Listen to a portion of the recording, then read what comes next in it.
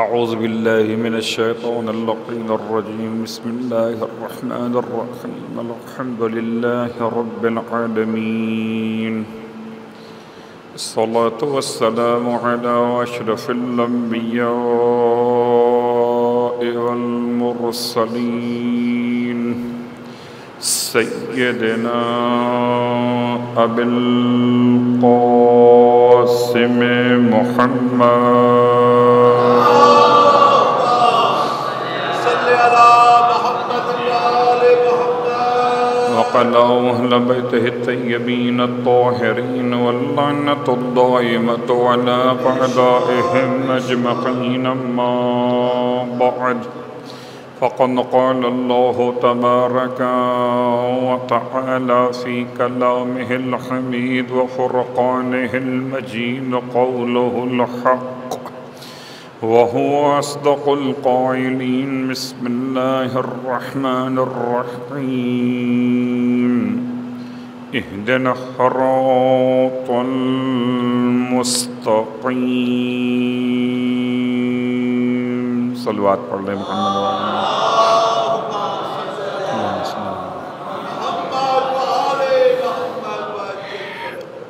تمام تعریفیں اس خدائے بزرگ و برتر کے لیے اس کی رحمتوں کے نتیجے میں سانسوں کی آمد و رف جاری و ساری ہے۔ ہر سانس کی آمد پر بھی شکر خدا واجب ہے۔ ہر سانس کے مکمل ہونے پر بھی شکر خدا واجب ہے۔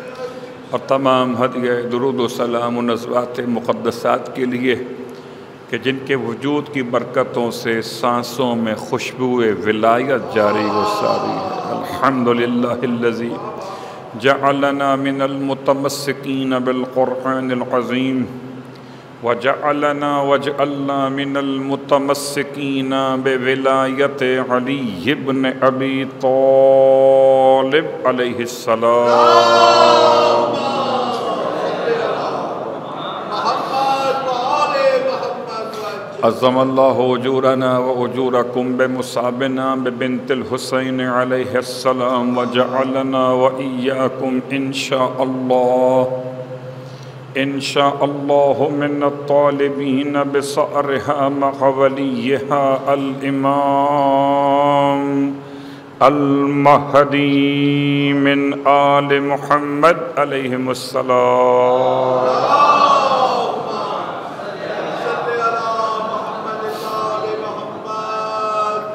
اما بعد فرش ازائے امام حسن مشتبہ پر مسلسل آپ کی خدمت مقدس میں آج تیسری نشست منعقد ہو رہی ہے۔ ایک طالب علم کی حیثیت لیے ہوئے پچھلے دو روز سے اپنا سبق پیش کر رہا ہوں اور آج بھی آپ کی خدمت میں اپنا سبق پیش کرتے ہوئے شہزادی کو وسیلہ بنانا چاہتا ہوں۔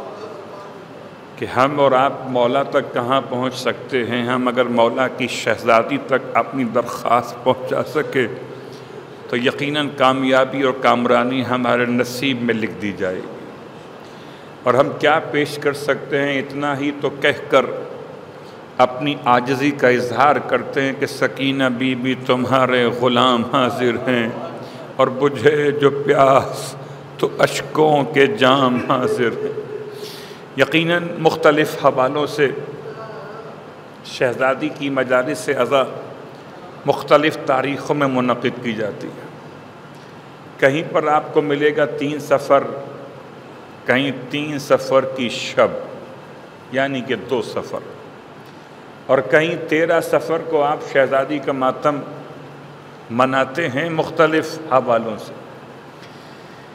اس میں کوئی شک نہیں کہ شہزادی کے اپنے مزار اقدس پر، آپ کے روز طیبہ اور طاہرہ پر جو آپ کا ماتم منعقد ہوتا ہے، وہ سفر کی تین تاریخ مسلسل ماتم ہوتا ہے۔ پانچ سفر سے لے کر سات سفر تک، خدا مجھے اور آپ سب کو نصیب کرے کہ ہم چھوٹی شہزادی کے حرم میں پانچ سفر سے سات سفر تک ماتم گزاروں میں شامل کیے۔ جائیں ہم شہزادی کے روزے پر شہزادی کا پرسہ، شہزادی کے بابا کو، شہزادی کے چچا کو، شہزادی کے بھائی کو پیش کر سکیں۔ انشاءاللہ خدا ہماری اور آپ کی دعا اس فرش ادا شب جمعہ کی برکت سے قبول فرمائے۔ سلوات پڑھنے محمد و آل محمد۔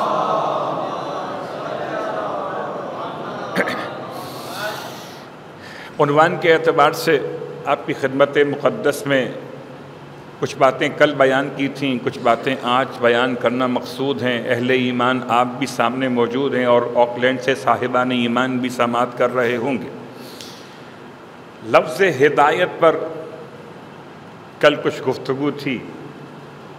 ہدایت کی کیا اہمیت، کیا قدر و قیمت ہے، اسے وہی جانتا ہے جو گمراہی کو پہچانتا۔ ہو یعنی کبھی کبھی ایسا ہوتا ہے کہ خود اصل سے شے کو پہچانا جائے اور کبھی اصل کے بجائے اس کی ضد سے اس کو پہچانا جاتا ہے۔ یعنی فرض کر لیتے ہیں اگر خدا رات بناتا ہی نہیں تو انسان کو دن سمجھ میں آتا ہی نہیں۔ اور اگر خدا دن نہ بناتا تو انسان کو رات سمجھ میں نہ آتی۔ تو دن کو سمجھنے کے لیے رات کا وجود، رات کو سمجھنے کے لیے دن کا وجود ایسے ہی ہے جیسے کسی شے کو اس کی ضد سے پہچان لیا جائے۔ یا یوں سمجھ لیں، اگر حیوانات نہ ہوتے تو انسان کی کیا قدر و قیمت سمجھ میں آتی۔ حیوان ہیں تو سمجھ میں آ رہا ہے کہ یہ حرکتیں کرے تو حیوان ہو جاتے ہیں، یا نہ کریں تو انسان صلوات پڑھے محمد عالم۔ چھوٹی سی مثال ہے۔ تو ہدایت کی دو قسمیں، ایک ہدایت تکوینیہ اور ایک ہدایت تشریعیہ۔ تکوینیہ میرے اور آپ کے اختیار میں نہیں ہے۔ خدا نے جیسا بنایا ہے، جس فطرت پہ بنایا ہے، جس نیچر پہ خدا نے تمام کائنات کو خلق فرمایا، یہ اسی نیچر پہ چلے گی۔ اس میں تبدیلی نہیں ہو سکتی۔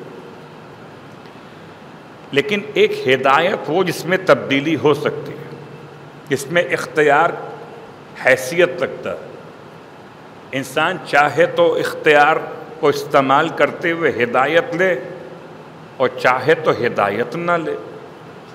ہدایت کو خدا نے انسان پر مسلط نہیں کیا ہے، انسان کو صاحب اختیار بنایا ہے۔ اس لیے کہ مسلط تو حیوان پہ کیا جاتا ہے، انسان پہ نہیں۔ انسان کو انسان کہتے اس لیے کہ سمجھ کے اچھائی کا انتخاب کرتا ہے۔ اس لیے قرآن ایسے افراد کی تعریف کرتا ہے، بشر، حبیب، بشارت دیجیے، عباد الزینہ ان بندوں کو یستم اون القول جو سنتے تو سب کی باتیں ہیں فیتب اون احسن مگر پیروی کرتے ہیں اچھی باتوں کی۔ سنتے سب کی باتیں ہیں، مگر پیروی کرتے ہیں اچھی باتوں کی، بشارت ان کے لیے ہے۔ بہت غور کیجیے گا۔ اس کو سمجھنے کے لیے کہ انسان اس ہدایت تشریعیہ کے اعتبار سے خدا نے ایک لاکھ چوبیس ہزار انبیاء اور پھر اوسیاء انبیاء اور پھر آئمہ معصومین کو مسلسل بھیجا۔ تاکہ انسان اندر کے ضمیر کے ساتھ، اندر کی عقل کے ساتھ باہر کے ہادی کو پہچان لے۔ اندر والا اگر ناکارہ ہو گیا، بہت غور کیجیے گا، اگر یہ اندر کی آنکھیں کام نہ کریں تو باہر کی لائٹ فائدہ نہیں پہنچاتی۔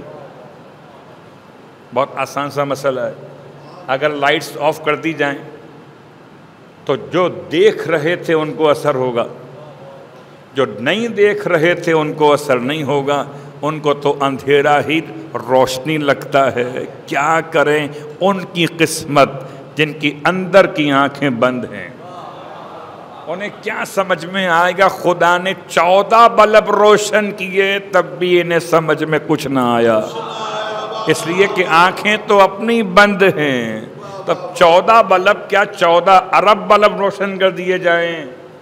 جب آنکھیں ہی بند ہوں گی تو کس کو روشنی کا اندازہ تاریکی کے لحاظ سے مختلف محسوس ہوگا؟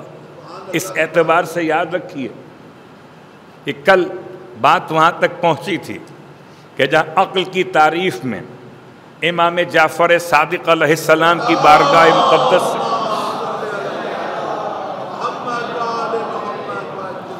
سائل کا سوال تھا، مولا مل عقل عقل کی تعریف کیا ہے؟ اس کو سمجھنے کے لیے امام کے الفاظ مقدس کو بیان کرنے سے پہلے ایک جملہ آپ کی خدمت میں بطور تمہید پیش کر دوں۔ خدا نے جب عقل کو خلق فرمایا، یہ بھی روایت ہے اللہ کے حبیب کی، جب عقل کو خدا نے خلق فرمایا تو ارشاد فرمایا، اقبل، آگے آؤ۔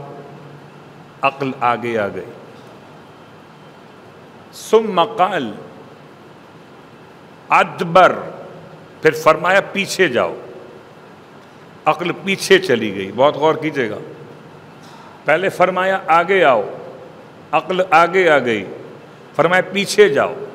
عقل پیچھے چلی گئی۔ خدا نے فرمایا، میں نے تجھ سے بہتر کوئی مخلوق خلق نہیں کی ہے۔ سب سے بہتر مخلوق ہے پروردگار عالم کی عقل۔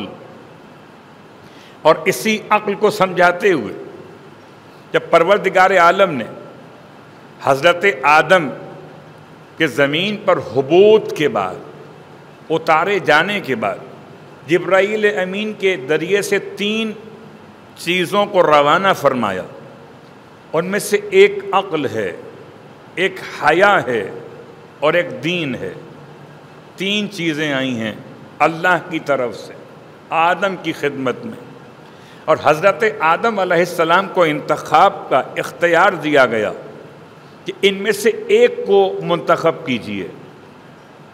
اب آپ سب بیٹھے ہوئے اگر آپ کے سامنے تین ڈشیں رکھی ہوئی ہوں اور آپ سے کہا جائے کوئی ایک چن لیجیے، آپ حلیم کھائیے گا یا بریانی کھائیے گا۔ یا دال کا انتخاب کیجیے گا۔ آپ سوچئے گا، کوئی ایسا آئٹم لیا جائے، ہے ایک، لینا ایک ہے۔ تین نہیں لے سکتے، لینا ایک ہے۔ لیکن ایسا لیجیے کہ آپ نیک ہو جائیں۔ ایسا لیجیے کہ آپ کو باقی دو کے چھوڑنے کا افسوس نہ ہو۔ بہت غور کیجیے گا۔ آپ سوچیں گے کہ اگر چاول کی بات کریں تو دال نہیں مل رہی۔ دال کی بات کریں، چاول نہیں مل رہے۔ حلیم میں دال بھی ہے، گندم بھی ہے، اور بعض علاقوں میں چاول بھی شامل کیے جاتے ہیں۔ تو آپ نے سوچا کہ مشکل لے لو تو دونوں کو کور کر لے گا۔ بات واضح ہو رہی ہے۔ اس میں گوشت بھی ہے، سلوات پڑے محمد والے محمد۔ حلیم میں گوشت بھی ہوتا بھائی میں نے مثال اس لیے ایسی دی کہ آپ بہت قریب ہیں نظر و نیاز کے حوالے سے ان تینوں آئٹمس کے اعتبار سے۔ تو حضرت آدم کے سامنے نہ بریانی ہے، نہ دال ہے، نہ حلیم ہے۔ آپ کے سامنے عقل ہے، حیا ہے اور دین ہے۔ اور آپ کو حکم خدا جبرائیل کی طرف سے جب پہنچایا گیا، جبرائیل نے جو پہنچایا ہے، حکم خدا کیا ہے؟ ایک کو چن لیجیے۔ حضرت آدم نے نہ حیا کو چنا اور نہ دین کو چنا۔ چنا تو عقل کو چنا۔ جیسے ہی عقل کو چنا، حضرت جبریل امین نے حیا اور دین سے فرمایا، اب چلو واپس چلے۔ تین چیزیں آئی تھیں، ایک چننا تھی، وہ چن لی، باقی دو بچیں، کہ واپس چلیں۔ حیا اور دین نے جبریل امین سے عرض کی کہ جبریل اللہ نے ہمیں حکم دیا تھا، جہاں عقل رہ جائے وہاں تم رہ جانا۔ تو پتہ چلا آدم کی ہوشیاری تھی۔ عقل کو لیا تو حیا بھی آ گئی اور دین بھی آ گیا۔ اب پتہ چلا جو بے حیا ہے، بے عقل ہے۔ جو بے دین ہے، بے عقل ہے، جو صاحب عقل ہے، وہی صاحب دین ہے، وہی صاحب حیا۔ سلوات پڑھے محمد وآل محمد۔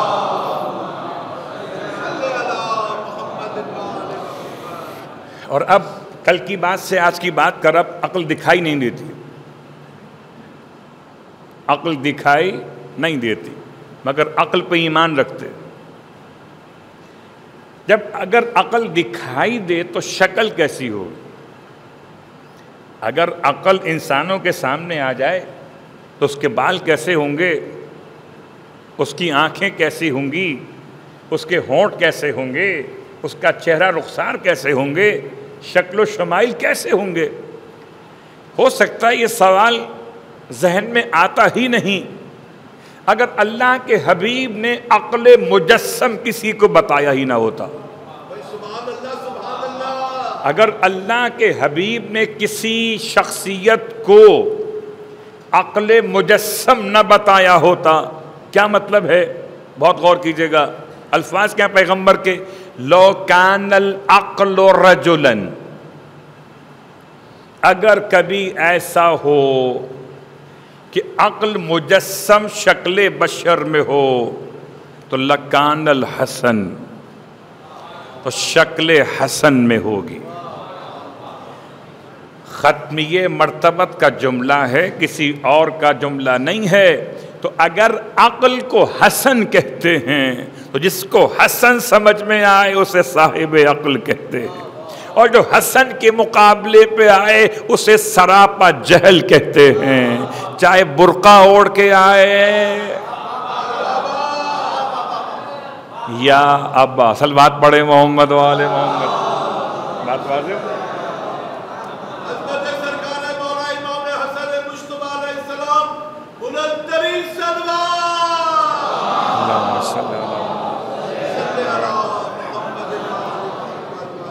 ابھی آپ نے محسوس کیا کہ درود کی جو دعوت دی گئی، اس میں امام کے نام کے ساتھ مشتبہ استعمال کیا گیا۔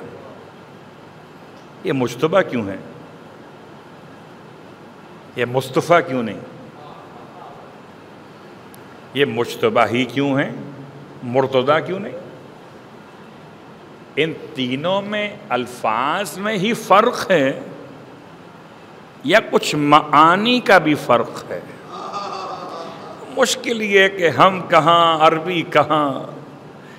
اردو میں تو گنجائش ہی نہیں بنتی۔ سب کا ترجمہ آپ کو ایک جیسا ملے گا۔ چنا ہوا، اسے بھی مصطفیٰ کہتے ہیں۔ چنا ہوا، اسے بھی مرتضی کہتے ہیں۔ چنا ہوا، اسے بھی مشتبہ کہتے ہیں۔ مگر اہل ایمان تو خوب سمجھتے ہیں کہ کسے مصطفیٰ کہتے ہیں، کسے مرتضی کہتے ہیں اور کسے مشتبہ کہتے ہیں۔ اگر قسم بخدا اس کو سمجھنے کے لیے ایک مثال قائم کی جا سکتی۔ اور یہ مثال قائم نہیں کی گئی بلکہ سوال کیا گیا امام کی خدمت میں۔ سوال کرنے والا سوال کرتا ہے مولا سے کہ مولا یہ بتائیے کہ آپ سب ایک ہیں، تو آپ سب کے چہرے الگ الگ کیوں ہیں؟ اگر آپ سب ایک ہیں تو آپ کے نام الگ الگ کیوں ہیں؟ نام بھی الگ، کنیتیں بھی الگ، کوئی ابو محمد، کوئی ابو عبداللہ، کوئی ابو تراب، کوئی ابو القاسم علاقہ کنیت بھی الگ الگ۔ اور ابھی آپ نے القاب سنے، کوئی مصطفیٰ، کوئی مرتضی، کوئی مشتبہ کوئی شہید کربلا۔ تو یہ القابات بھی الگ الگ، نام بھی الگ الگ، چہرے بھی الگ الگ۔ تو یہ الگ الگ بھی ہیں اور ایک بھی ہیں۔ یہ کیسے ہو سکتا ہے؟ امام نے ارشاد فرمایا کہ ابھی قرآن کھول کے دیکھا ہے۔ کیا مولا قرآن؟ ابھی لے آتا ہوں۔ زمانہ چھٹے امام کا، تو قرآن شکل کتاب میں دستیاب ہے۔ چھٹے امام کے دور میں قرآن شکل کتاب میں دستیاب تھا۔ اٹھا کے لے آیا کتاب۔ امام فرماتے ہیں، اب یہ کیا ہے کہ قرآن ہے؟ کہ اب اسے کھولو۔ کھولا۔ اب دیکھو اندر کیا ہے؟ کہ سورہ فاتحہ ہے۔ کتنی آیات کا ساتھ؟ نام کیا؟ کا فاتحہ اور کا ام الکتاب۔ اور آگے دیکھو کیا ہے؟ کہ یہ سورہ آل عمران ہے۔ نام کیا ہے کہ آل عمران؟ آیات کا دو سو۔ اللہ اکبر۔ پھر آگے دیکھو کہ سورہ جمعہ نام جمعہ آیات کا گیارہ۔ اور آگے دیکھو کہ سورہ کوثر۔ نام کوثر، آیات کتنی؟ آیات تین۔ تو کہیں تین آیتیں، کہیں چار، کہیں پانچ، کہیں سات، کہیں گیارہ، نام بھی مختلف۔ اور ہر سورے کے اپنے اثرات بھی مختلف۔ فوائد بھی مختلف۔ اور ہیں سب قرآن۔ امام فرماتے ہیں، ہم سب کو ملاؤ گے تو ایک ہیں۔ الگ الگ دیکھو گے تو قرآن کی سوروں کی طرح فوائد رکھتے ہیں۔ سلوات پڑھے محمد والے محمد۔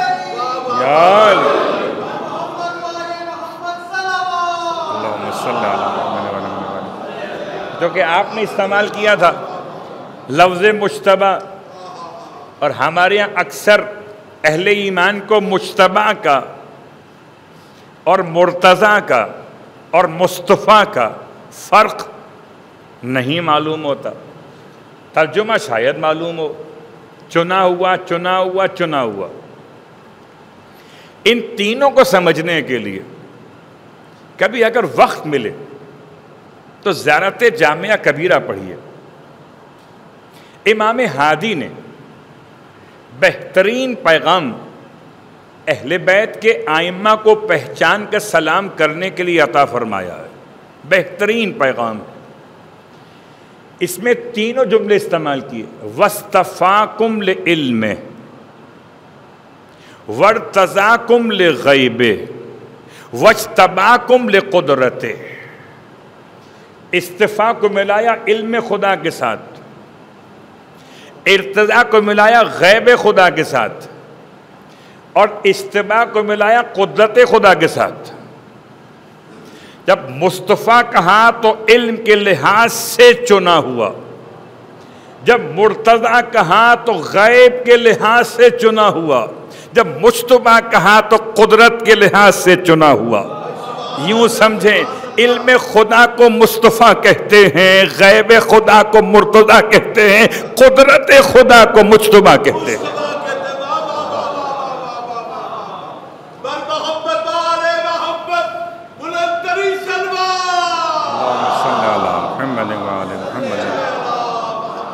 تینوں معنی الگ الگ ہیں۔ بات واضح ہو گئی؟ اب آپ کہہ سکتے ہیں، ہر امام کو مصطفیٰ، ہر امام کو مجتبہ کہہ سکتے ہیں، ہر امام کو مرتضی کہہ سکتے ہیں، لیکن القاب مخصوص تھے اور معصوم نے ان کو استعمال کیا، کتاب زیارت جامعہ کبیرہ جو آپ کی تعلیم شدہ کتاب۔ اب آئیے اس کے بعد آگے بڑھ رہے تھے لفظ عقل پر۔ کیونکہ آپ نے جملہ استعمال کیا تو مشتبہ تک پہنچ گئے۔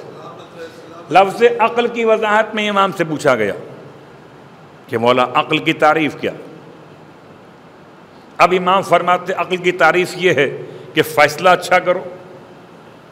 عقل کی تعریف یہ ہے کہ بالوں میں کنگھی کیا کرو۔ عقل کی تعریف یہ کہ آنکھ میں سما لگایا کرو۔ امام فرماتے نہیں، عقل کی تعریف نہیں ہے۔ یعنی سر میں کنگھی ہو نہ ہو، آنکھوں میں سرما ہو کہ نہ ہو، منہ دھلا ہو کہ نہ ہو، عقل کی پہچان اس سے نہیں ہوتی۔ یہ تہذیب ہے، نظافت ہے، یہ اور ہے۔ یہ زینت آدمیت ہے، یہ اور ہے۔ عقل کی پہچان کیا ہے؟ اس کو سمجھاتے ہوئے ارشاد فرمایا، العقل ما عبدا بہر رحمان عقل کہتے ہیں اس صلاحیت کو جس سے رحمان کی عبادت کی جا سکے۔ جو رحمان کی عبادت تک پہنچائے، اس صلاحیت کو عقل کہتے ہیں۔ اب سمجھیے، سارے عابد ہیں صاحب عقل۔ اور سارے عبادت چور ہیں۔ غیر صاحب عقل۔ جو خدا کی عبادت کرے وہ صاحب عقل ہے۔ جو خدا کی عبادت چھوڑ دے وہ بے عقل ہے۔ آپ کس میں شامل ہونا چاہیں گے؟ فیصلہ آپ پر امام نے چھوڑ دیا۔ العقل ما عبیدہ بہر رحمان وقت و سبا بہل جنان اور خالی رحمان کی بندگی کافی نہیں ہے۔ امام فرماتے ہیں عقل کی ایک تعریف یعنی سیکنڈ پارٹ یہ ہے کہ جو جنت تک پہنچائے اسے عقل کہتے ہیں۔ اللہ یا علی، جو رحمان تک پہنچائے وہ عقل ہے، جو جنان تک پہنچائے وہ عقل ہے۔ رحمان اور جنان ملے ہوئے ہیں۔ غور کیجیے گا، جو صاحبان عقل ہیں، اب جتنے بے عقل ہیں سب جہنم میں جائیں گے۔ ایسے میں راوی نے امام کی خدمت میں ایک سوال کیا ہے۔ اور وہ سوال شاید آپ اور میں بھی اگر ہوتے تو یہ سوال تو شاید ہمارے اذہان میں بھی آتا۔ سوال کیا ہے؟ سوال یہ کیا کہ اگر عقل اسی کا نام ہے کیا رحمان کی بندگی ہو، جنت کا حصول ممکن ہو تو حاکم شام کے پاس کیا تھا؟ اب چالیس سال کی گورنمنٹ اور ایسی خوفناک گورنمنٹ کہ اسلام کا ظاہر اندر نفاق کا حوالہ یہاں بھی مسئلہ صاف اور وہاں بھی جنت سے محروم، اسلام ظاہر بھی، اندر ایمان کوئی نہیں۔ میں الفاظ بدل دیتا ہوں۔ لوگ کہتے ہیں مومن بڑا بیوقوف ہوتا ہے اور منافق بڑا چالاک ہوتا ہے۔ وہ کہیں نہ کہیں سے کھانچا نکال لیتا ہے۔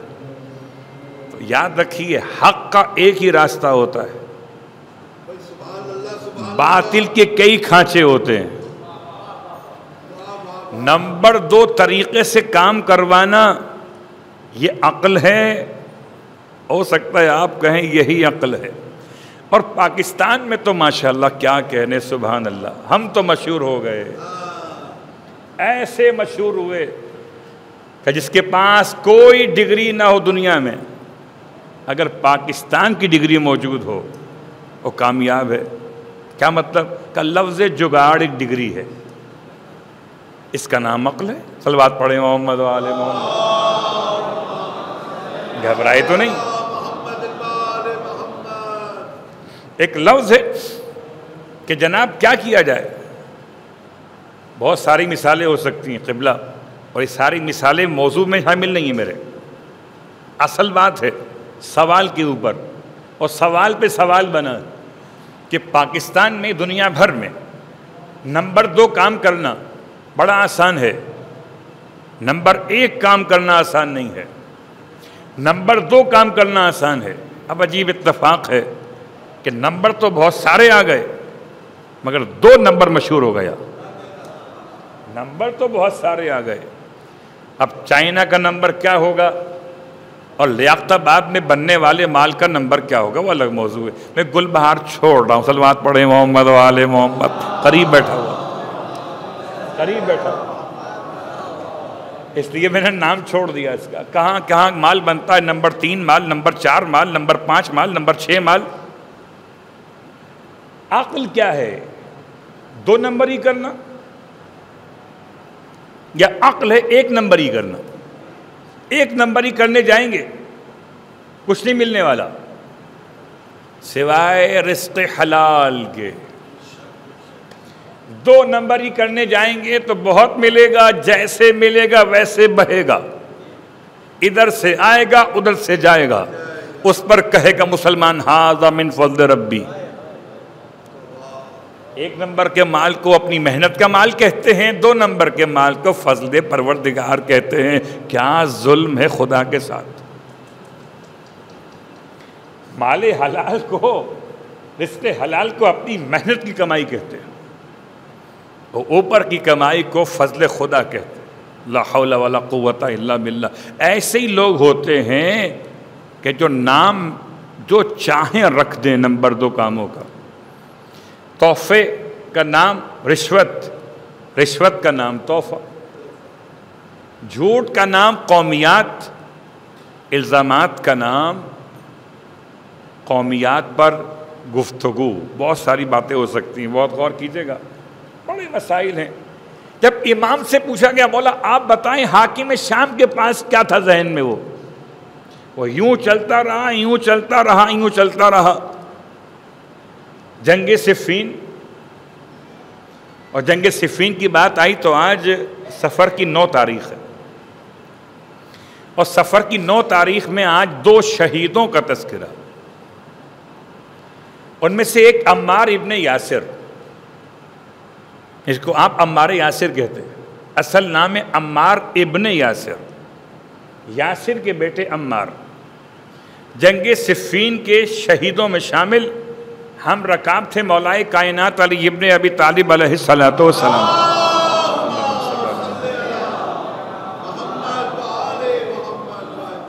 اور دوسرے خزیمہ بن ثابت رضی اللہ تعالی عنہ، کہ جن کا لقب ذو شہادتین ہے۔ اللہ کے رسول نے ان کو لقب دیا ذو شہادتین کیوں دیا؟ اس لیے دیا۔ قبیلہ اوس میں، خزرج الگ، اوس الگ۔ قبیلہ اوس میں اس ایک لقب پر بڑے جلسے منعقد کیے گئے، بڑے فخر کیے گئے کہ ہم میں سے ذو شہادتین ذو کا مطلب اس کی ایک کی گواہی دو گواہیوں کے برابر ہو۔ ایک کی گواہی دو گواہیوں کے برابر ہو۔ ہوا کیا تھا؟ ایک عرابی شخص مدینے میں آیا اور اس نے اللہ کے رسول کے ساتھ ایک سودا کیا۔ اس کے پاس ایک گھوڑا تھا۔ عربی میں جو روایت کے الفاظ ہے فرس من گھوڑا گھوڑا تھا۔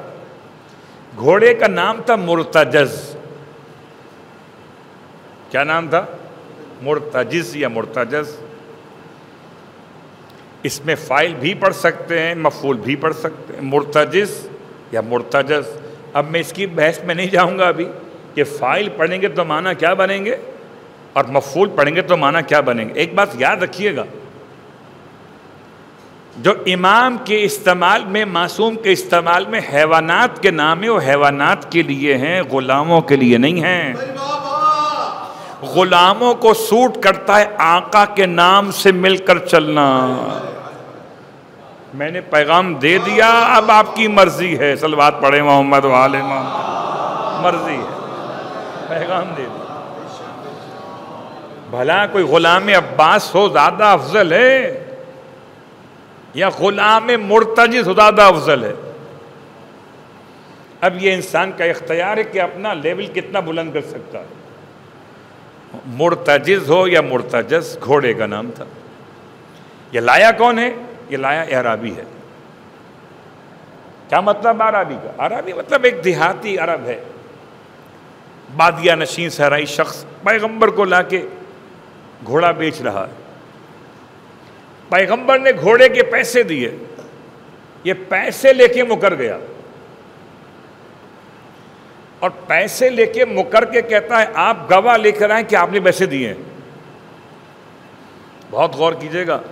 یہ یاد رکھیے، جب بھی کبھی بزنس کیجیے، لین دین کیجیے، تو ضرور لکھت پڑھت کیجیے۔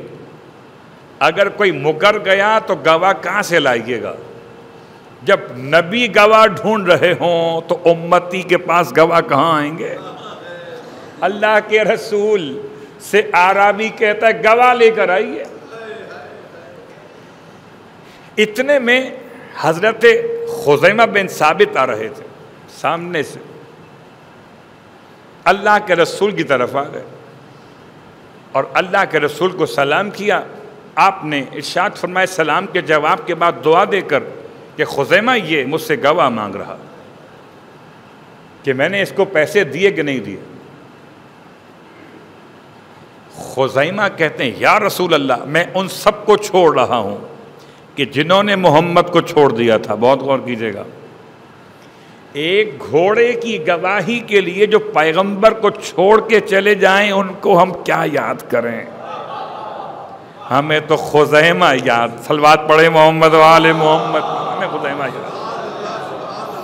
خزیمہ بن ثابت چھوڑ کے نہیں گئے۔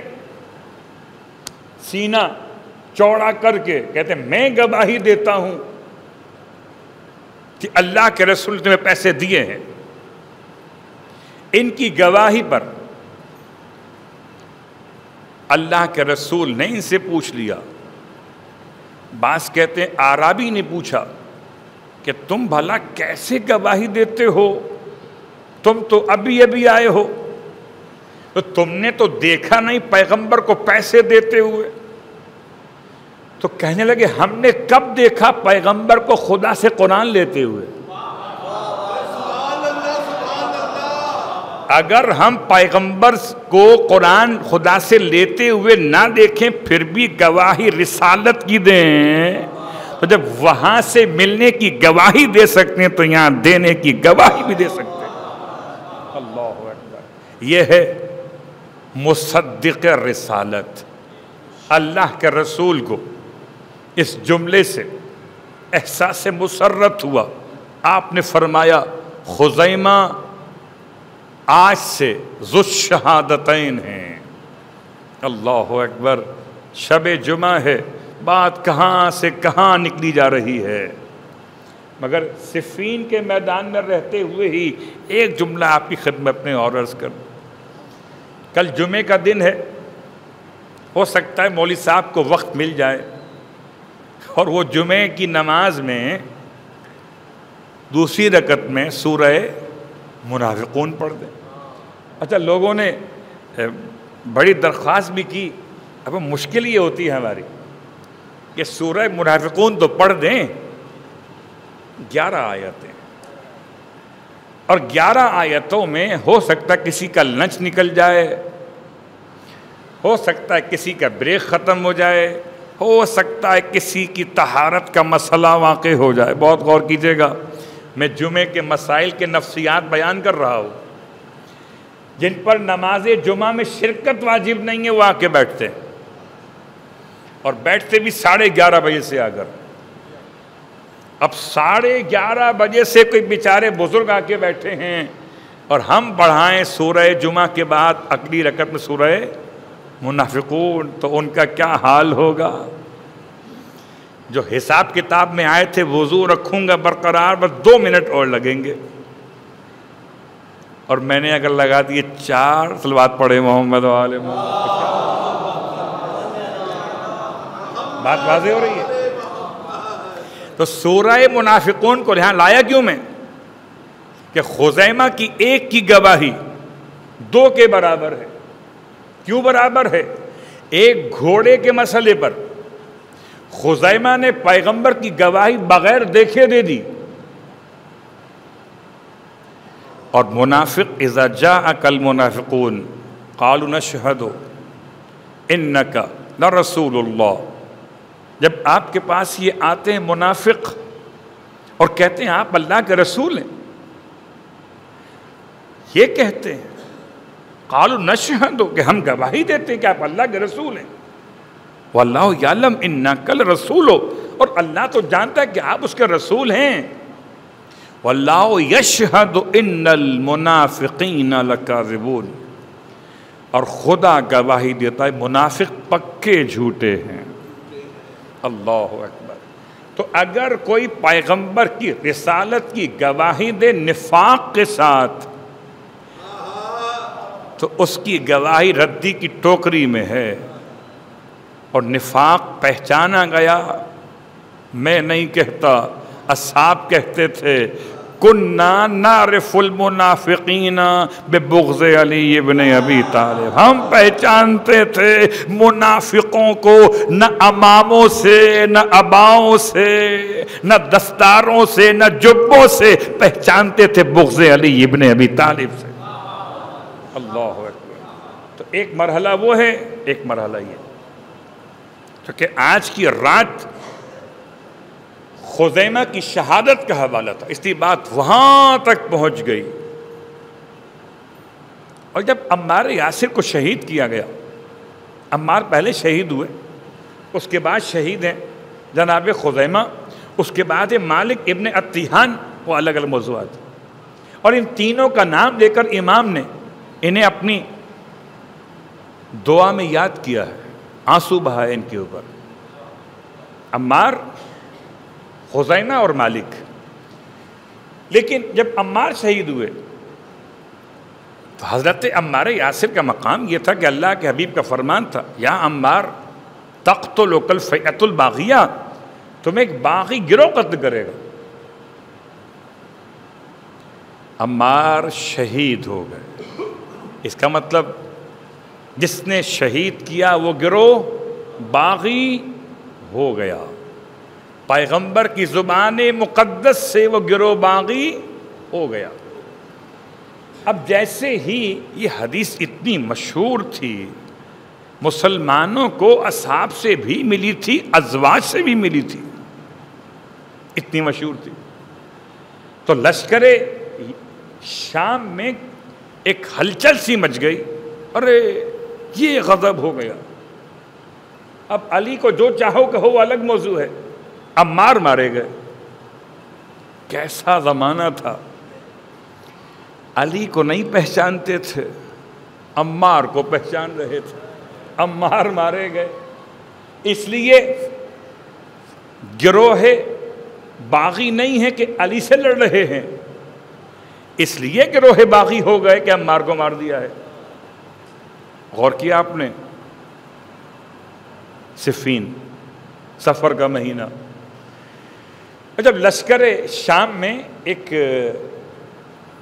کیفیت تبدیل ہوئی، ہلچل مچ گئی۔ تو حاکم شام نے اپنی عقل استعمال کی۔ میرا موضوع یاد ہے مجھے۔ کیا استعمال کی؟ اس کے لحاظ سے اس کی عقل۔ کیا استعمال کی؟ کہنے لگا، ہم نے تھوڑی مارا کوئی۔ امار کو، تم گھبراؤ مت، سپاہیوں، کمانڈروں، تم مت گھبراؤ۔ تم باغی گروہ نہیں ہو۔ کیوں؟ کہ تم نے نہیں مارا ہے۔ پھر کس نے مارا ہے؟ کہ جو میدان میں لایا تھا۔ وہ امار کے قتل کا ذمہ دار ہے۔ امار کو بڑھاپے میں میدان میں کون لایا تھا؟ امیر المومنین علی ابن ابی طالب علیہ السلام سوچئے گا میری بات پہ غور کیجیے گا کہ اب پورے گیم کو پلٹنے کے لیے حاکم شام نے ایاری سے کام لیا اس ایاری کو اس چالاکی کو ہم عقل کہیں گے سوال امام کی خدمت میں یہی تھا جیسے یہ خبر پھیلی کہ حاکم شام نے اپنے سپاہیوں کا حوصلہ بچانے کے لیے اپنے سپہ سالاروں کو جنگ پر باقی رکھنے کے لیے ایک پروپیگنڈا کیا ہے کہ اصل قاتل ہم نہیں ہیں امار کے، وہ ہے قاتل امار جو امار کو اٹھا کے میدان میں لے آئے۔ اب جب یہ خبر امام تک پہنچائی گئی یعنی کہ مولا مشکل کشا تک۔ آپ نے جواب میں ارشاد فرمایا، اگر ایسا ہی قبول کر لیا جاتا ہے، تو پھر حضرت امیر حمزہ کے قاتل تو رسول خدا ہو گئے۔ نہ امیر حمزہ کو عہد میں اس بڑھاپے میں لائے ہوتے، نہ امیر حمزہ شہید ہوئے ہوتے۔ مگر یہ جواب صاحبان عقل کے لیے تھا۔ سلوات پڑھے محمد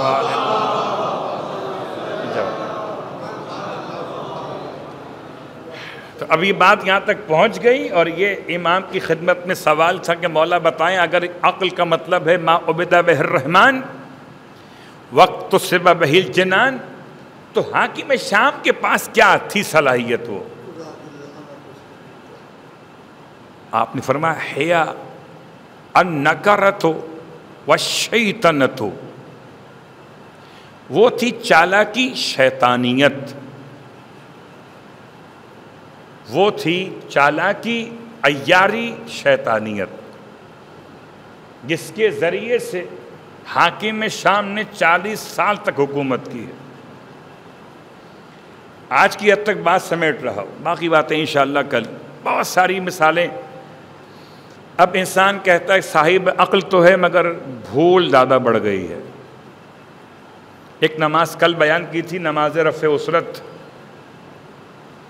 ایک پرسوں بیان کی نماز حل مہمات۔ آج نماز کے علاوہ دو جملے اور سن لیجیے۔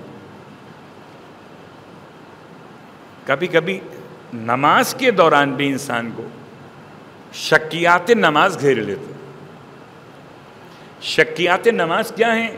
شکیات نماز نماز میں شکوک کہ یہ پڑھ رہا ہوں، یہ پڑھا کہ نہیں پڑھا، یہ کر رہا ہوں، یہ کیا کہ نہیں کیا۔ اور جو کر رہا ہوں اس کا نمبر کیا ہے؟ سجدہ نمبر کیا ہے؟ رکت نمبر کیا ہے؟ سورہ اخلاص پڑھ رہا ہوں الحن پڑھی کہ نہیں پڑھی؟ سورہ اخلاص کے بعد اب رکو میں گیا، قنوت پڑھا کہ نہیں پڑھا؟ شکیات کی ستائیس قسمیں ہیں۔ کتنی ہیں حضور؟ ستائیس قسمیں۔ اور ستائیس قسمیں یاد کرنا تو آسان نہیں ہے۔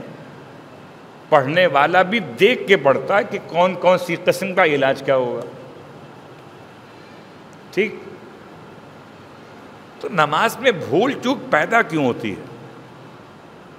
سبب کیا؟ ہے اس کا سبب جاننا چاہیں گے؟ حالانکہ سب سے بڑی نماز چار رکت ہے۔ ہاتھ میں انگلیاں کتنی ہیں؟ پانچ۔ نماز کتنی ہے؟ انگلیوں کی تعداد سے بھی کم ہے۔ سب سے بڑی نماز ہماری پانچ انگلیوں کی تعداد سے بھی کم ہے۔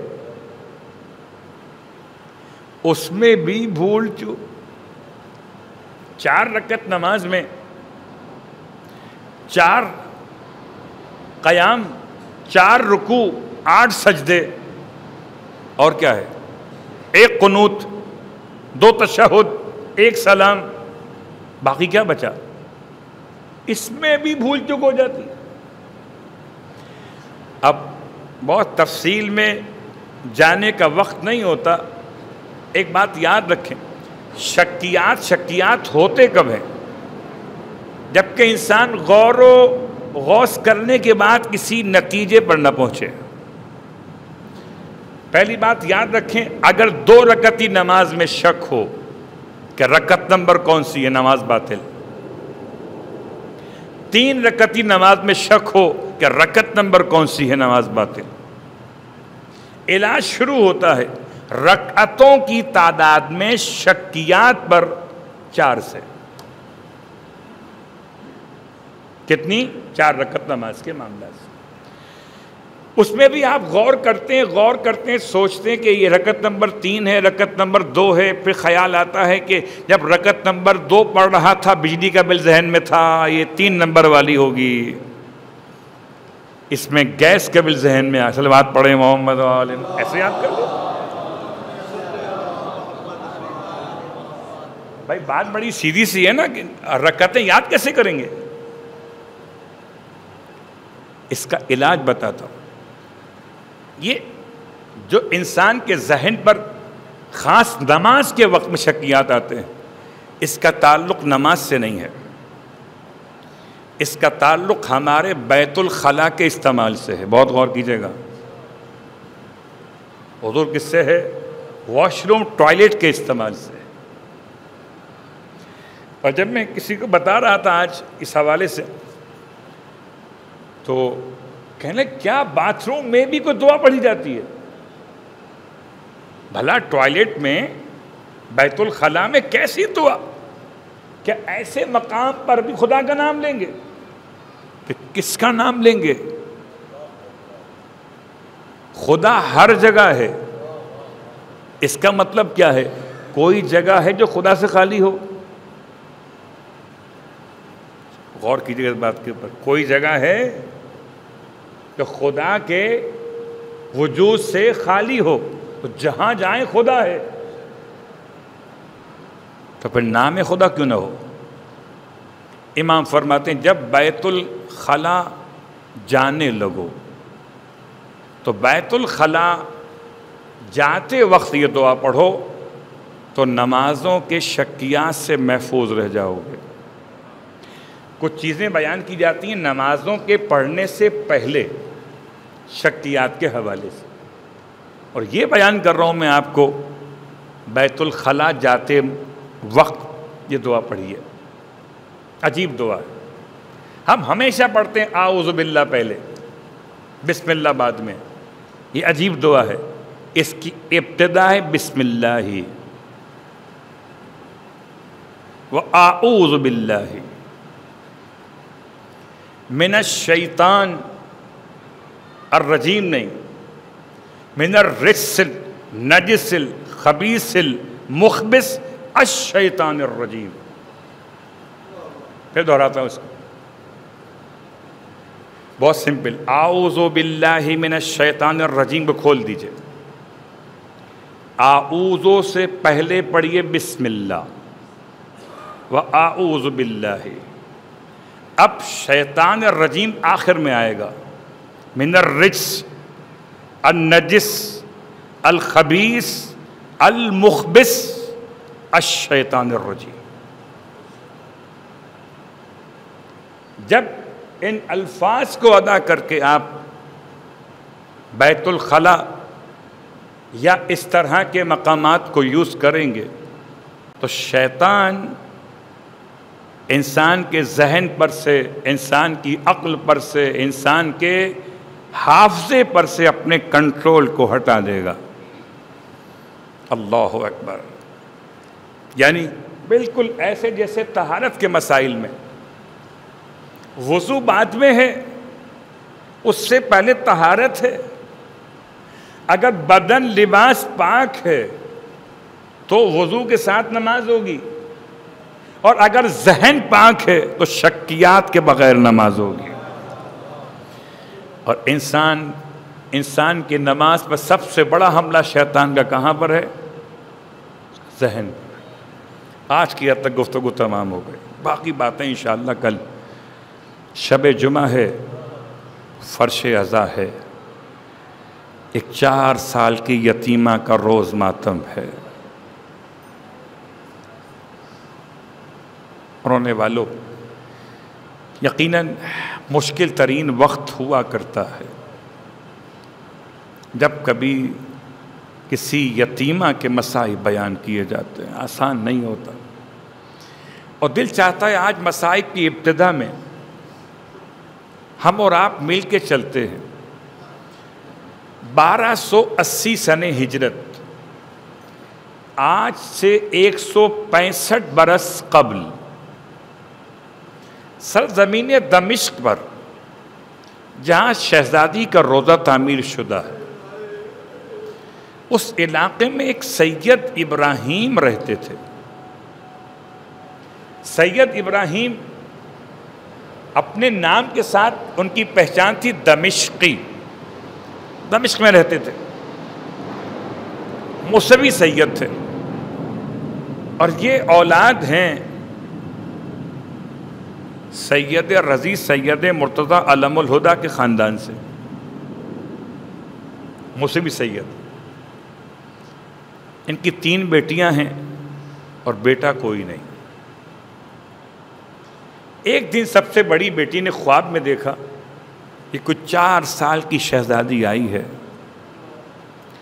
اور آ کے فرماتی ہیں، اپنے بابا سے کہیے کہ والی شام سے کہیں کہ میری قبر میں پانی آ گیا ہے۔ مجھے اذیت ہو رہی ہے۔ اس کو نکالنے کا انتظام کیا۔ جب یہ بیٹی نے خواب باپ کو بیان کیا، باپ ڈر گیا۔ نوے سال کا بوڑھا شخص ہے ابراہیم رونے لگے۔ کیسے والی شام سے کہیں، یہ چھوٹی بات تو نہیں ہے، قبر جناب شہزادی سکینہ کی بات ہو رہی ہے۔ کچھ بھی نہیں کیا۔ اگلے دن پھر منجلی بیٹی نے خواب میں دیکھا کہ پھر کوئی چار سال کی بچی آئی، آ کر کہتی ہے، اپنے بابا سے کہیے نا، والی شام سے کہے، میری قبر میں پانی آ گیا، میری بدن کو اذیت ہو رہی ہے۔ اس نے اپنے باپ کو خواب بیان کیا۔ پھر باپ خاموش ہو گیا، کیسے آگے بیان کرے؟ یہاں تک کہ تیسرا دن آ گیا۔ چھوٹی بیٹی نے بھی خواب میں دیکھا، وہی انداز تھا۔ باپ کو بتایا، باپ رو کے خاموش ہو گیا۔ چوتھے دن پھر باپ نے خواب میں دیکھا۔ یہ کوئی شہزادی ہے چار سال کی۔ دونوں ہاتھ کانوں پر رکھے ہوئے۔ اللہ اکبر، سر جھگائے ہوئے رو کے کہتی ہے کیوں نہیں کہتے والی شام سے، میری قبر میں پانی آ گیا؟ ارے کوئی پانی نکالنے کا بندوبست تو کرو۔ اب یہ سید کہتے جب بیدار ہوئے تو منہ کو پیٹتے جاتے تھے، روتے جاتے تھے۔ والی شام تک پہنچے۔ والی شام سے پورے اپنے چار خواب بیان کیے، اپنا ایک تین بیٹیوں کے خواب بیان کیے۔ والی شام نے سنی شیعہ سارے علماء کو جمع کیا۔ نبش قبر آسان نہیں کسی مزار کے لیے، خاص طور سے اب جب سب فیصلہ ہو گیا، علماء آ گئے، تو والی شام نے کہا، آپ سید ہو، بزرگ ہو، آپ نے خواب دیکھا ہے نا، اب قبر میں آپ اترو گے۔ اوپر سے صندوق ہٹایا گیا زری کو کھولا گیا قبر کو اندر سے اندر سے تختوں کو نکالا گیا، سید کو اندر اتارا گیا۔ اب جو سید اندر اترے، چیخیں نکل گئی جب چھوٹے جنازے کو اپنی آنکھوں سے دیکھا، تو فرماتے تھے، وائے ہو یزید، تجھ میں۔ ارے جھوٹی روایتیں لکھوا گیا۔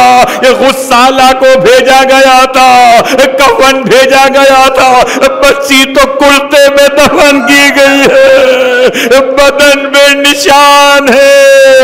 خون کرتے پہ نمودار ہے۔ اجرکم اللہ۔ رونے والوں رونے والوں، یہ بات یاد رکھی، آپ بھی تو پڑھتے نا اس روایت کو کہ غسالہ کو بھیجا گیا تھا۔ غسالہ نے پوچھا تھا کہ ایک قیدیوں تم میں بچوں کا نگران کون ہے؟ بی بی زینب آگے بڑھی تھی۔ بتاؤ، کیا بات ہے؟ میں بچوں کی نگران ہوں۔ تو کہتا کہنے والی کہتی تھی غسالہ ایک قیدن بی بی، یہ بتا، اس بچی کو بیماری کون سی ہو گئی تھی؟ کہ کیوں پوچھ رہی ہے؟ کہ تجھے نہیں معلوم، بچی کے بدن پہ نیل پڑے ہوئے ہوئے ہیں یہ روایت معتبر نہیں ہے. سید ابراہیم نے قبر میں جب اترے تو جنازے کو اٹھایا. رونے لگے.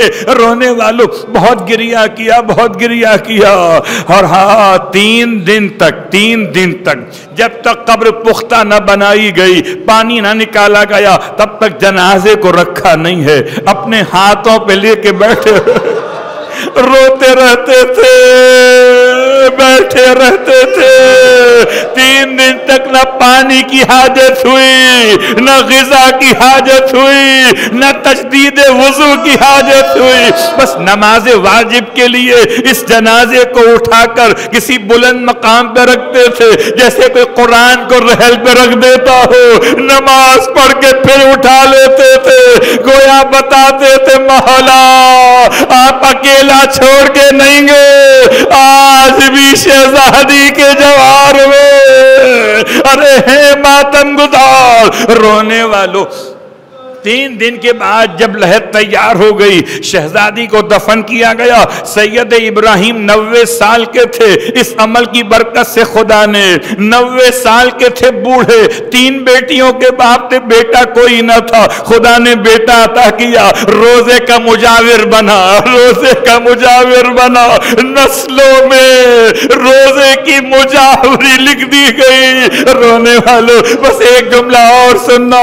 سید ابراہیم ابراہیم، آپ نے شہزادی کے جنازے کو اٹھایا، آپ کے ہاتھوں میں ہتکڑیاں تو نہیں تھی۔ ہائے میرا مولا، ہائے بیماری ماں، ہاتھوں میں ہتکڑیاں پیروں میں بیڑیاں، گلے میں تاک رہنے والوں جنازہ جنازہ کیسا تھا؟ بس آخری جملہ، رونے والوں ویسے تو تاریخ بتاتی ہے، چار جنازے ایسے ہیں تاریخ میں کہ جن کو تیار کرنے والے، اٹھانے والے چیخیں مار کے رو دیے۔ ایک سیدہ کا جنازہ پسلیاں ٹوٹی تھی۔ دوسرا، موسی کاظم کا جنازہ۔ تازیانوں کے نشان تھے۔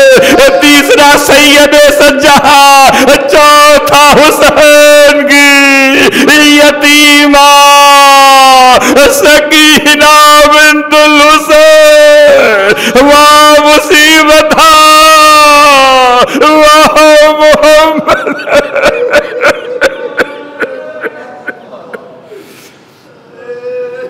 الله ولعنة الله على القوم الظالمين وسيعلم الذين ظلموا أي منقلب ينقلبون۔ بار اللہ واسطہ محمد و آل محمد کا ہماری اس عبادت کو اپنی بارگاہ میں قبول و مقبول فرما۔ وقت قبولیت دعا ہے۔ چار سال کی شہزادی کے مسائب پڑھے گئے۔ اس کے مسائب پڑھے گئے جس کو تماچے مارے گئے۔ تو بچانے والا کوئی نہ تھا اس کے مسائب پڑھے گئے۔ جس کے کانوں سے گوشوارے نوچے گئے، تو کوئی زخموں پہ مرہم رکھنے والا نہ تھا۔ اے خدا واسطہ، اس کا، جس کا بھائی بھی باب الحوائج ہے، جس کے بابا بھی باب الحوائج ہیں، جس کی دادی اور دادا بھی باب الحوائج پروردگار واسطہ اس کا، جس کے چچا بھی باب الحوائج ہیں۔ تمام مانگنے والوں کی مرادیں پوری فرما، اے خدا اے خدا۔ خدا، ہم سنتے ہیں نا کہ یتیموں کی دعا زیادہ جلدی قبول ہوتی ہے۔ شہزادی بہت سارے بیٹھے ہیں کہ جو روزے روزے ابا عبداللہ پہ جانا چاہتے ہیں، آپ کے بابا کے روزے پہ جانا چاہتے ہیں، مگر نہیں جا سکے، رکاوٹیں آ گئی ہیں۔ شہزادی، اگر آپ وسیلہ بن جائے، آپ ننے ننے ہاتھوں سے بابا سے درخواست کریں، بابا بابا یہ میرے بھائی کے ازادار ہیں، بابا یہ میرے ازادار ہیں۔ انہیں اپنی بارگاہ میں بلا لیجیے تو ہمیں یقین ہے۔